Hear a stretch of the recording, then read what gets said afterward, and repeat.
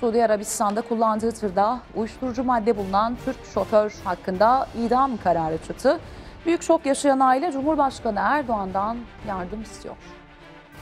Hani oğlum? Aferin oğluma. Hani oğlum? Tırında uyuşturucu bulundu, hakkında idam kararı çıktı. Aile suçsuz gördüğü babaları için Erdoğan'dan yardım istedi.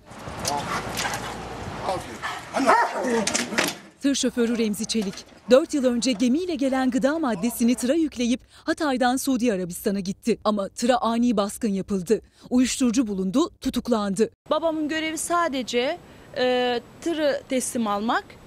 Riyada bir yerde e, işte o yükü boşaltmak.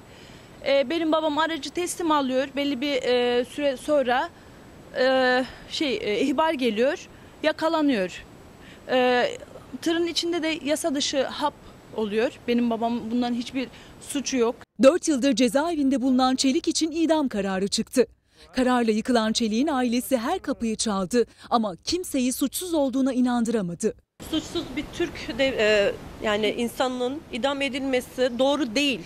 Yani bir günahsızın idam edilmesi, göz göre göre öldürülmesi kimsenin vicdanına sığacak bir şey değil. Ailenin tek umudu Cumhurbaşkanı Recep Tayyip Erdoğan.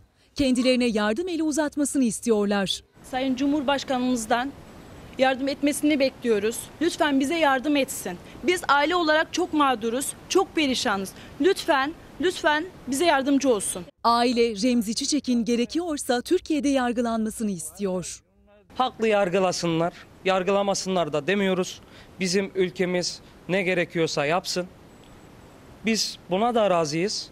Biz çünkü suçsuzluğuna güveniyoruz. Suçsuz olduğunu biliyoruz. Buna inanıyoruz. Bunu bu da araştırılsın. Araştırılmadan hüküm verildi. Bu hükmün iptali için lütfen yetkililer devreye girsin.